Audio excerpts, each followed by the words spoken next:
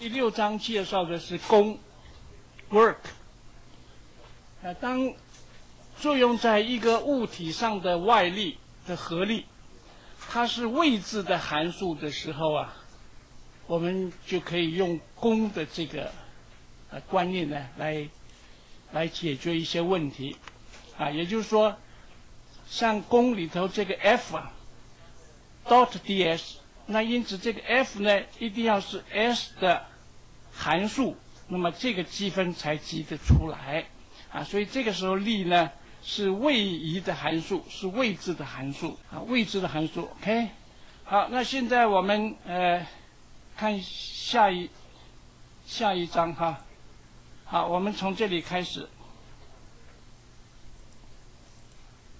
我们介绍功与动能的理论，功与动能的理论，一个点。m 在某一瞬间呢，它的速度是 v，啊，一个质量为 m 的物体的质点，它在某一瞬间它的瞬时速度是 v，那么我们就定义一种量，就是质量乘上速度的平方被二分之一来除，这个量我们称它叫做动能。啊，kinetic energy。那么我们现在呃看一看哈，这个 E k 呢，它是质量乘速度的平方。那么我们可以从它就说这个，当然你可以有导出的一个单位啊，但是我们把它定义成这个量啊，它的单位就叫做焦耳。啊，动能就能动能的单位叫做焦耳，OK？啊，你可以用导出单位哈，这个是质量公斤，这个是 meter per second 平方哈。那么这个导出单位，但是这个单位我们给它一个新的名称叫做焦耳。那么现在我们看一个时点，它在这个弯曲的路径上面。弯曲的路径上面啊，在这里走，它在这个路径上的任何一个位置啊，它的 force net force 合力啊，它的合力呢不是定值啊，随着位置而变的。那么当它从 A 点在 A 点的时候，它有一个切线的速度叫 v_a，到达 B 点的时候有一个切线的速度叫。叫做 v_b，啊，那么它从 A 点到 B 点，它总共做了多少功呢？啊，这从 A 点到 B 点总共做多少功呢？好，这个功呢，我们就可以用 net force dot ds 积分，从 A 积到 B。好，net force dot ds，那么就等于 net force 乘上 ds。乘上这个角度的 cos 的的余弦函数，啊，好，那么 net force 乘上这个角度的余弦函数，就等于 net force 在 ds 方向上的合力，就是这个，所以 Fs 是等于 net force 在 ds 方向上的分力啊。好，那么现在要积分。我们要积积这个呃积分啊，那么 Fs 呢一定要是 S 的函数才可以啊。好，那么 Fs 原来是什么东西呢？它原来是 M A A S 啊，M A S，就就说这个啊，这个力啊，它是等于 M A 了，这个 A。这个其实是 t 了，我写错了哈。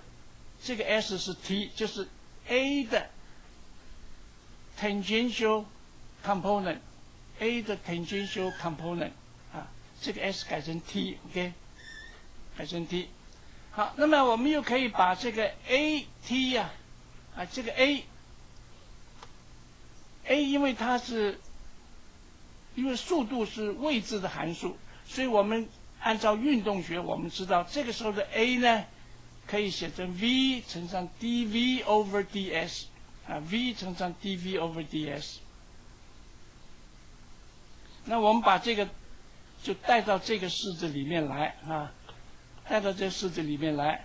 好，那么这这样我们可以把它看作是 ds 跟这个 ds 消掉啊。其实，在微积分里头不是这个意思了哈。那么我们现在可以暂时可以看成这个消掉就变成 v dv，积分以后呢是二分之一 v 平方，把上下限带进去就是这样子。那这个是什么？B 点的指呃指点在 B 点的动能，这个是指点在 A 点的动能，所以这个就是 E K B 减掉 E K A，那么就等于这两个动能的差。这个 delta 我们以前说过，就是等于等于改变的意思哈，就是后来的动能减掉起初的动能。好，这个意思，呃，这个式子，各位一定要记住它的物理意义。它是说，合力对物体做的总功啊，这，因为这个是 net force，所以它是总功啊，等于什么？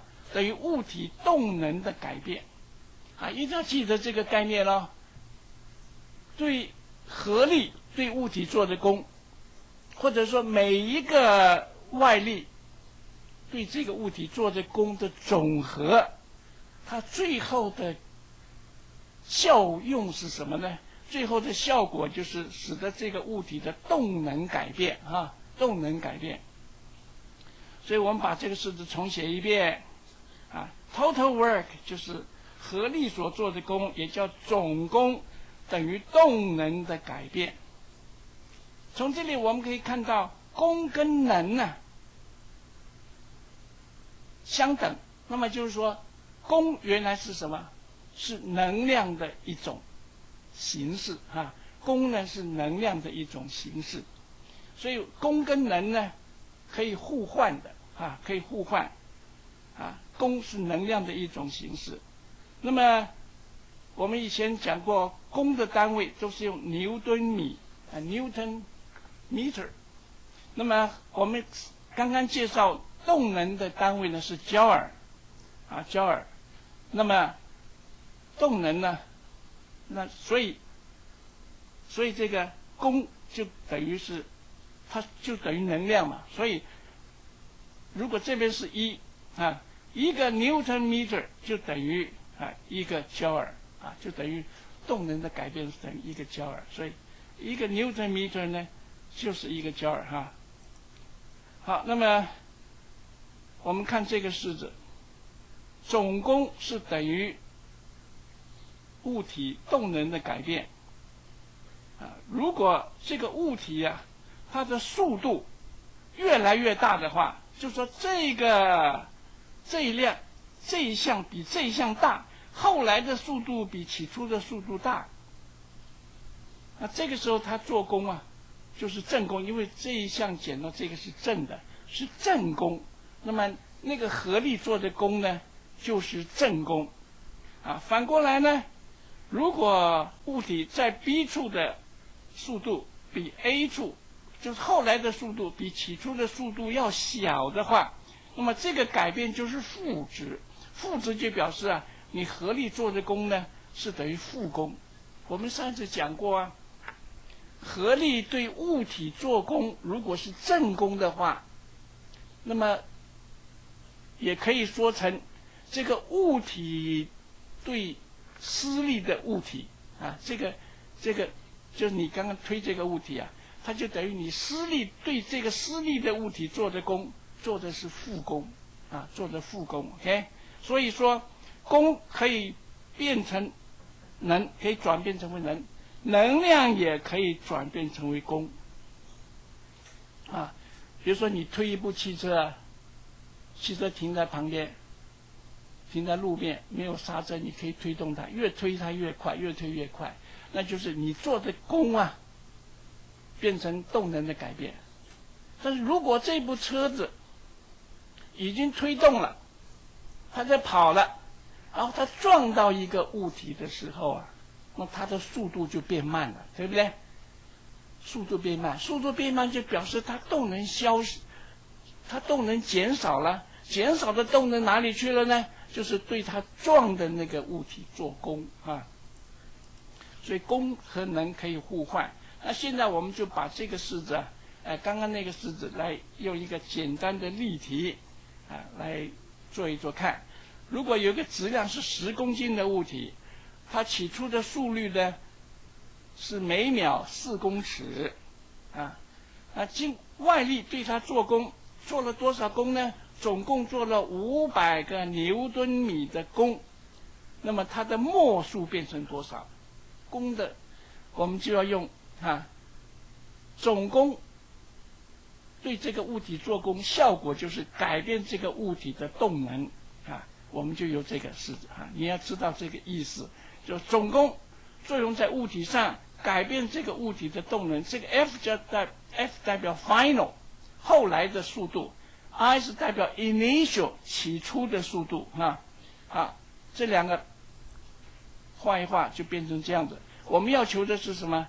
求 v_f，所以我们把这个颠倒一下啊，v_f square 等于这个量啊。那么我们开个平方就等于就就是 v_f 等于十点八个 meter per second。当然这个很简单了，这个就是告诉各位，你以后解这个问题啊，它是告它要你求什么末数，求末数。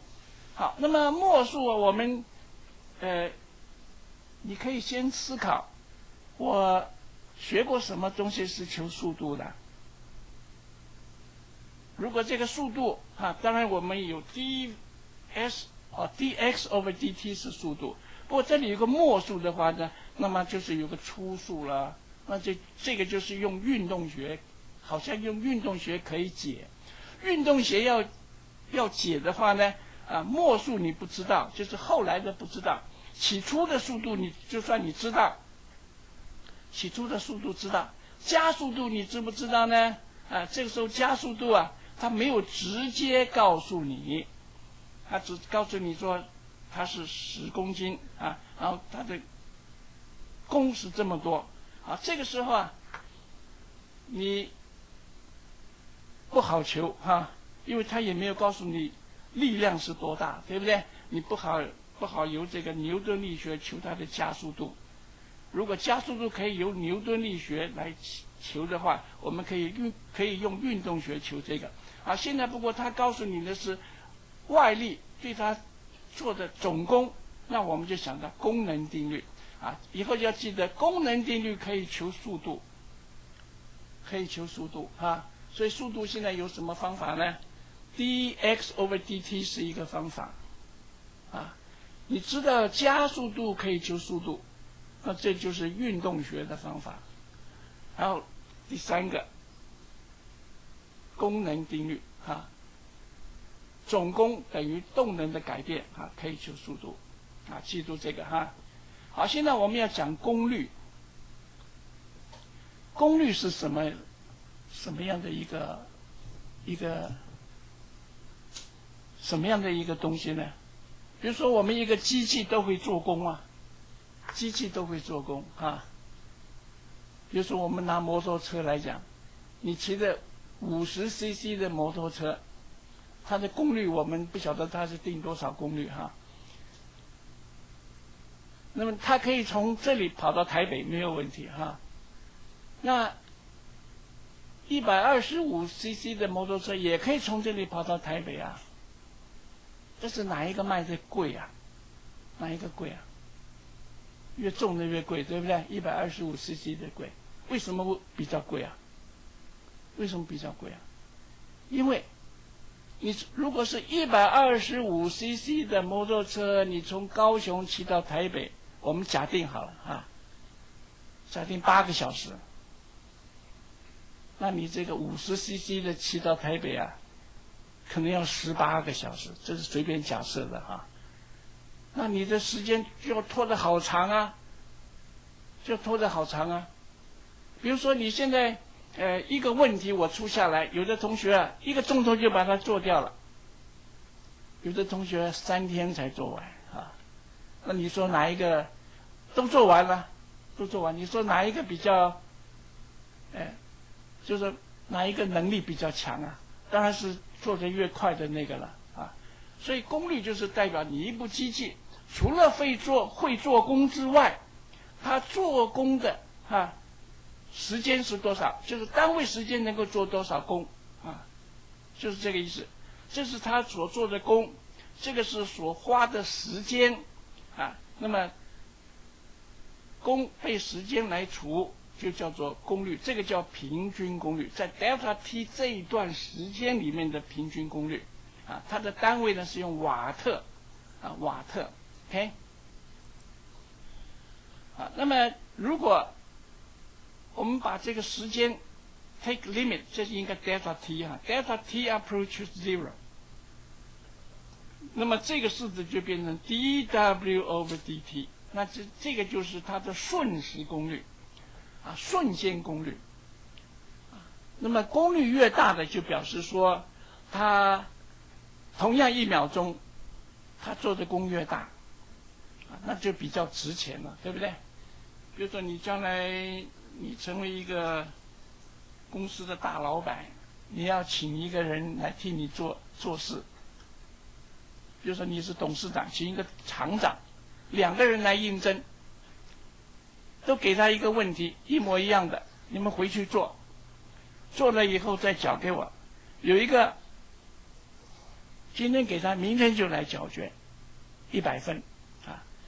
另外有一个一年以后才缴卷，也是一百分。那你要用哪一个？你要用哪一个？当然用那个一天就做完了，对不对？因为它的效率比较高嘛，你不会用那个一年以后的，所以这个这叫功率，功率的单位叫瓦特。其实这个是什么 j o u l per second，j o u l per s e c o n d j o u l per second，我们就给它一个名称叫做瓦特啊。一个瓦特等于一个 j o u l per second。如果是英制单位的话，功呢它是 foot pound，时间用秒，那。foot pound，我们用另外一个名称叫做马力 horsepower。那一个 horsepower 是五百五十个 foot foot pound per second 啊，这是功率。OK，好，那么瓦特跟马力之间的换算，一瓦特是等于零点七三八个马力，一马力是等于七百四十六个瓦特啊。这个换算的这个数字啊。也要稍微记一下哈。好，现在我们看一个例题。这是一个电梯，电梯里头坐了一群人，啊，二十个乘客。这个大概百货公司的这个这个电梯哈。好，电梯呢，空的电梯重是五千一百六十个牛顿。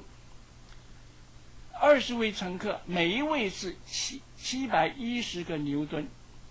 他现在这电梯呢，从二十五楼下降到地面啊，就下降了二十五层楼，总共历时呢十八秒，每一层楼的高度大概是，就说是三点五公尺，在这个过程里面，马达供应电梯的平均功率是多少？那这个时候你要怎么做呢？啊？那么我们就先假设，假设这个电梯啊，啊，它行进的时候以等速行进，哎，那么我们又假设这个电梯，它它的壳子跟这个人总共加起来的重量叫做 W，啊，那这个就是这个系统，我们选择这个电梯整个系统啊，包括壳子跟人。那这个就是它的外力，啊，它的外力 W，然后缆绳拉这个电梯的力是 F。你看我们到现在啊，都还在用画力图，对不对？所以力图非常非常重要哈，非常非常重要。好，我们把这个画出来以后啊，我们是假定电梯呢以等速前进。啊，等速前进，啊，因为它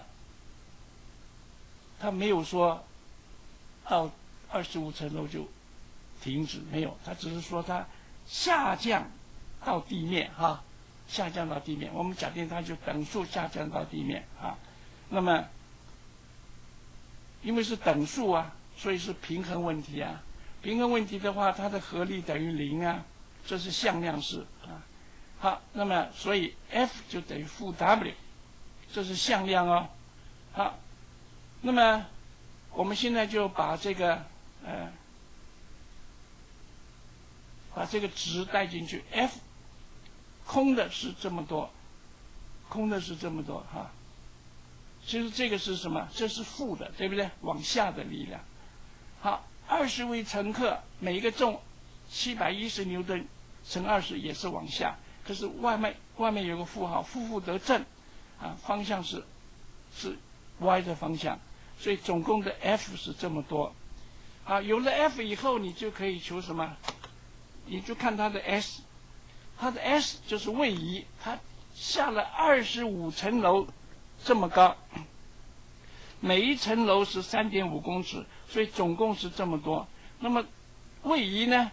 它是负的，因为它是往下哈。所以位移是这个。于是我们就可以算出来啊，平均功率是等于 W over T，这是总共的 W 了啊，就是它的功了啊。那么这个是总共花的时间。好，那么 W 我们用 F dot S，这等于 F dot S 被 T 来除。好，那么这个就等于多少呢？负的九四一一一个瓦特啊，瓦特，嘿。好，那么这个瓦特啊，这个这个 F 是什么呢？是马达拉经过缆绳拉电梯的力量，拉电梯的力量。所以这个是这个马达拉电梯的这个。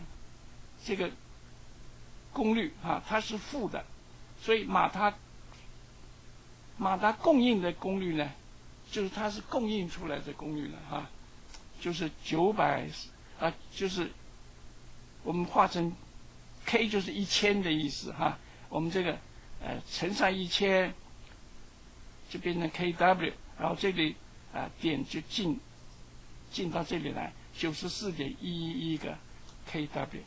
那也就是说，这是马达啊对外供应的功率是等于这么多。马达对外做功，是不是它它的功要对外供应，对不对？好，现在我们再看功率跟速度的关系。功率我们可以用这个表示啊。那么 W 等于 F dot ds 啊。好，那么我们把这个啊，ds 跟 dt 和这两个放在一起，就变成 v，所以变成 F dot v。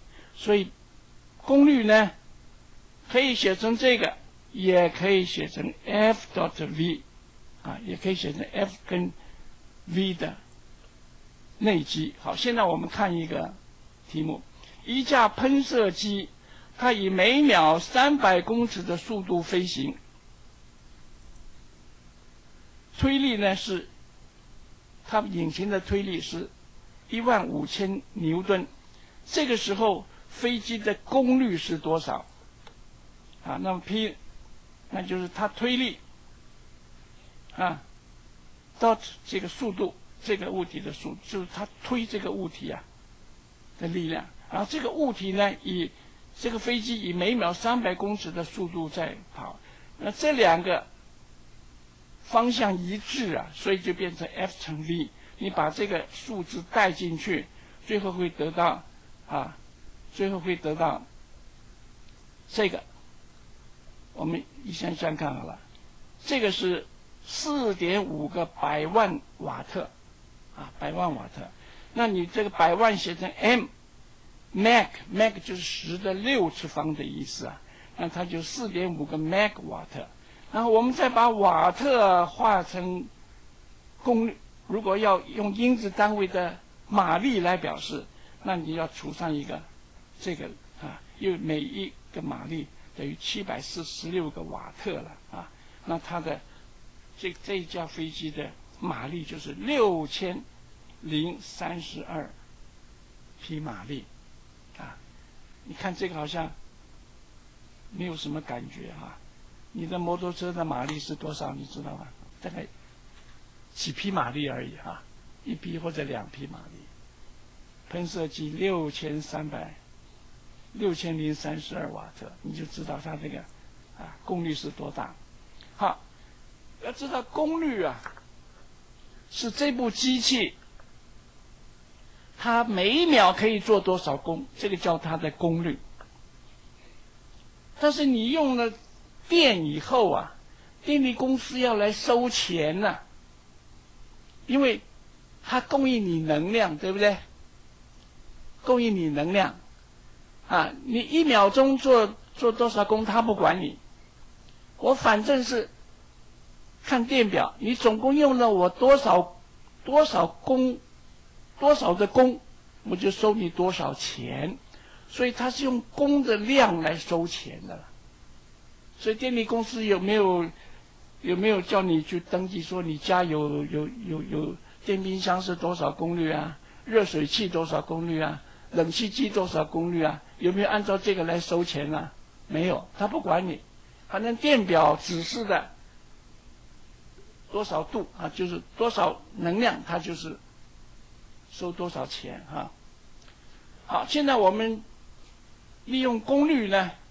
功率瓦特啊，我们来定一个功的单位啊，功的单位，比如说千瓦小时，千瓦小时，kilowatt hour 啊，千瓦小时是什么意思？就是说你这个机器啊，它的功率是一瓦特，它连续做工一千个小时所消耗的能量叫做。千瓦小时，这个就是我们家里头，啊，电力公司给你算电，你多少度啊？多少度哈？这就是多少度啊？一瓦特的机器连续做工一千个小时所消耗的功，就是就是一度，OK？啊，或者是说我有一部机器是一千个瓦特，那它连续啊做。一小时所消耗的功也也叫做一个千瓦小时，啊，所以啊，这是一千个啊，一千个瓦特，然后这是一小时，一小时我们化成秒啊，就是这么画，这是化成分，再化成秒，它等于三点六个 megjoule，啊，它的功啊。就等于三点六个 megjoule，那这个就是，啊，你一度，你用一度的电，就等于电力公司替你做这么多工，你要付多少钱？那么，我们对这个功率啊，可能要有一些概念啊。我们现在的电不晓得一度多少钱，我都我都没有去注意它。我记得我做学生的时候啊，一度电大概一块钱啊，一块钱很便宜啊。那我们看书的这个念书用的这个台灯呢，大概是十瓦，十瓦特，哈，一瓦特用一千小时是一度，一度。那么十瓦特要用多少小时啊？多少小时啊？一百个小时，对不对？所以你那个台灯呢，你用一百个小时才一度，一度一块钱，哇，很便宜哈，非常非常的便宜。那么如果我们这个用那种白炽灯呢，白炽灯是以前都是啊一百瓦，一百瓦的话呢，那你就十个小时就是就是一度。啊那么我们日光灯比较长一点的那个四十瓦，在二十五小时就是一度啊。那我们念书那个十瓦特，哎，可以念一百个小时啊，一百个小时。所以我们用东西的时候啊，呃，你要有这个概念啊，你要省电，你要有这种概念。好，那么我们再看马力，一一个马力小时哈，一个 horsepower hour 就是一马力的机器连续做工一小时消耗的能量啊。那么我们把这个带进去算起来呢，大概是一马力小时啊，大概是一点九八乘十的六次方个 foot pound 这个功，OK。好，那么第六章我们就到此。